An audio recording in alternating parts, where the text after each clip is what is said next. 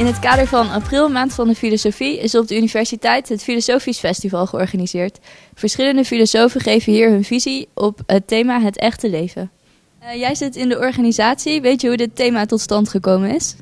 Uh, nou, het thema wordt altijd bepaald uh, door een groep mensen in Amsterdam. Wat ze wel doen is altijd een thema kiezen wat gewoon heel breed ja, te behandelen is. zoals vorig jaar het thema vrijheid. En het jaar daarvoor was het thema de stad. Uh, dus ja, daar kun je alle kanten mee op een hele maand in, uh, in festivals en in alle steden eigenlijk.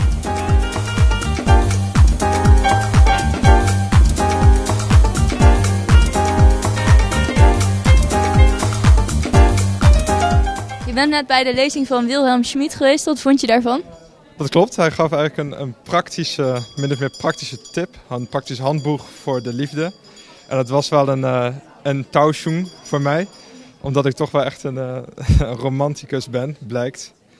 En dat ik uh, mijn bedeutung van de liefde misschien wel ernstig moet uh, bijstellen, wil ik gelukkig worden in het leven. Deze lezing gaat over het virtuele leven. Ik ben heel benieuwd wat dat met het echte leven te maken heeft. Je maakt een onderscheid tussen het leven in de fysieke wereld versus het beschermd leven aan de ene kant. En het in contact zijn met de wereld om je heen, of het bij de tijd zijn. Vindt u de opschuiving van de grens tussen de, de echte werkelijkheid en de virtuele werkelijkheid een positieve of een negatieve ontwikkeling?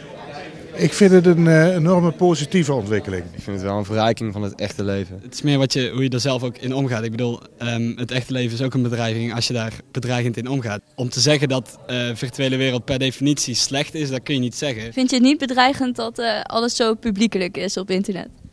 Nou ja, voor mij persoonlijk niet. Ik, ik, doe niet. ik ben niet zo publiekelijk op internet. En als iemand publiekelijk op internet wil zijn, dan moet hij dat vooral doen. Ik vind dat gewoon dom. En bijvoorbeeld dat je een boterham met kaas aan het eten bent. Vind je dat informatie die je op internet zou moeten zetten? Niet per se, maar bijvoorbeeld als iemand dat voor de grap doet of zo, kan ik daar best mee lachen. Maar wat je ziet dat die sociale media een enorme impact hebben over de verkleining van de wereld.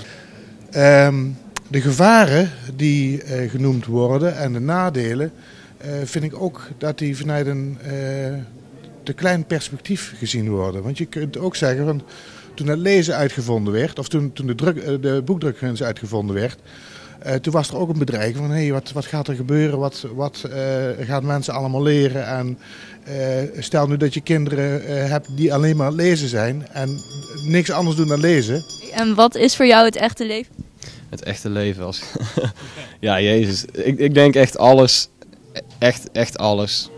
Net als dat um, alles eigenlijk een discours is, vind ik dat alles um, bij het echte leven hoort. Ook uh, dingen als Facebook en het virtuele leven. Omdat je daar ook, daar besteed je ook gewoon minuten van je dagindeling aan. En ik vind het, het, het ja, dat, dat vind ik gewoon waarheid. Dat vind ik gewoon bij het echte leven horen.